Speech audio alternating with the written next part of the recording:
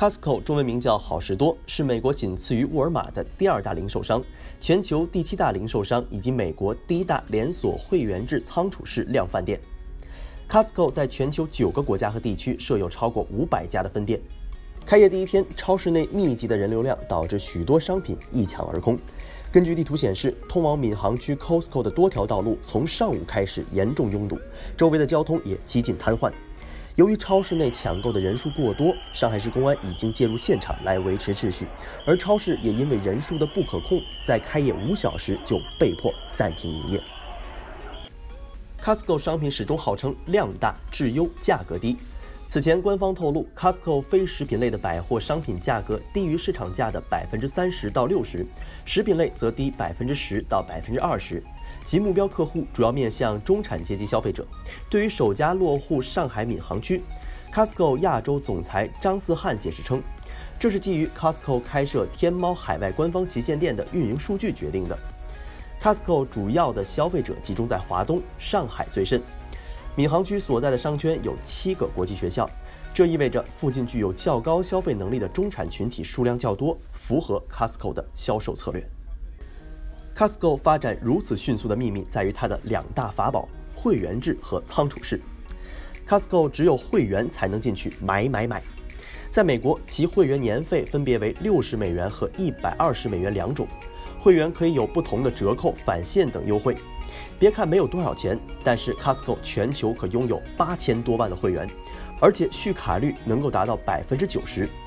据了解，Costco 上海店自七月一日开放会员申请之后，已经积累了数万名的会员，远超过此前的预期。当然了，作为营销手段，Costco 的会员费在开业前为一百九十九元，开业后为两百九十九，且可以在全球范围内使用。而说到仓储式，如果你是第一次进入 Costco，一定会被眼前堆起来的巨大体量的商品所震撼。Costco 是仓储式卖场，卖场即仓库。也正因如此，Costco 的产品大多是大包装，连购物车都是大号。目标客户是中产阶级家庭和中小企业，这也迎合了西方国家的消费习惯，即采购一次就可以满足一家人一整周的日常消费。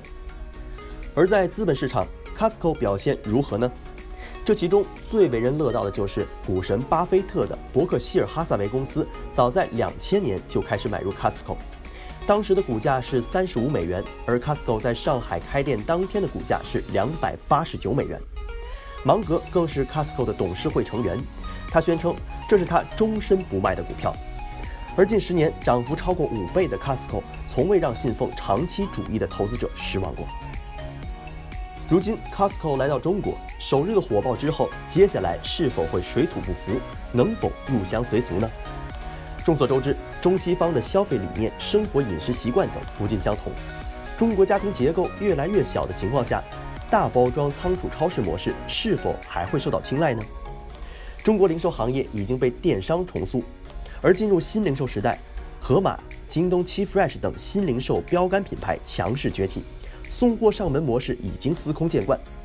如今，驱车几十分钟、自选自取的模式是否能够吸引顾客？Costco 疯狂的退货政策又是否可行呢？有网友调侃称，Costco 随时无条件退货的政策估计要被我们教做人了。那么在您看来，Costco 在中国的火爆是否能够继续呢？您是怎么看的呢？